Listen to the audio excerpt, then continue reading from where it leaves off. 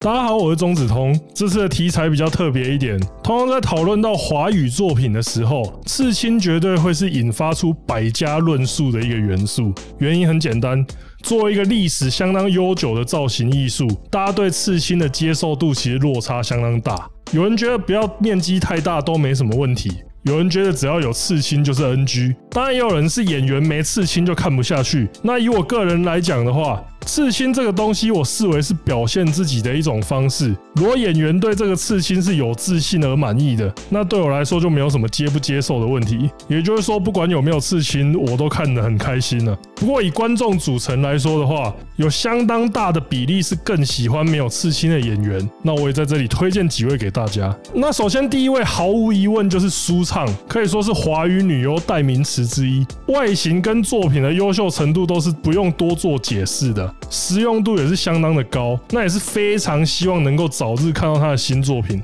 真的非常推荐，五告赞。接下来这位是陈小雨，外形看来也是非常的优质，不管是演出保险员或者是千金小姐，画面张力都十分足够。比较可惜的是，目前作品还不够多啊。紧接着看到是张云熙，火辣的身材，再加上如娃娃一般精致的脸蛋，这个作品肯定是一定要看一下的吧？像是最近的一路向西，我个人就觉得颇有趣味，值得一看。我们再来看到的是赵一曼，在麻豆的演员群当中，脸蛋可以说是相当艳丽的一位，身材也是不差啊。前面提到一路向西，他也有参与演出。喜欢看这种特别节目类型的观众，就千万别错过了。下一位看到是郭彤彤，他的作品也是有相当的数量，所以不管是学生、人妻、OL 的题材，几乎都挑战过。特别是有几部游戏类型的，个人觉得在娱乐性跟实用度上都有顾到，特别推荐给大家。再看到这位叫唐飞，我个人觉得他有一张特别无辜的脸蛋，那相信片商也是发现这点，所以让他演出的作品也有有不少是那种被欺负的类型。像这部出租车司机的恶趣味，演出一位楚楚可怜的女学生，个人认为是蛮不错的。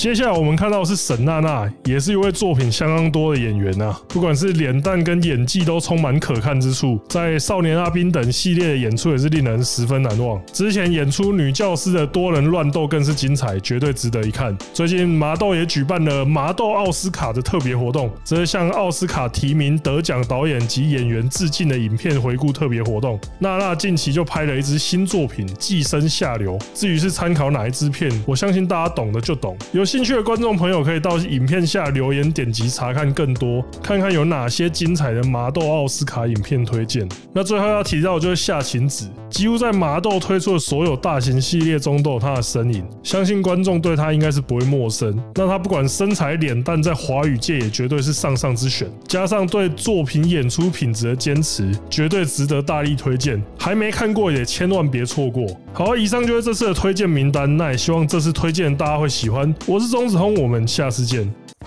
非常感谢你的收看，也请务必在影片按赞、订阅、开启小铃铛，支持我们其他平台，包括 Instagram 以及 Podcast。那也别忘了钟子通一下的 YouTube 会员开通啦！想成为我们的呼噜通粉吗？赶快加入我们哟！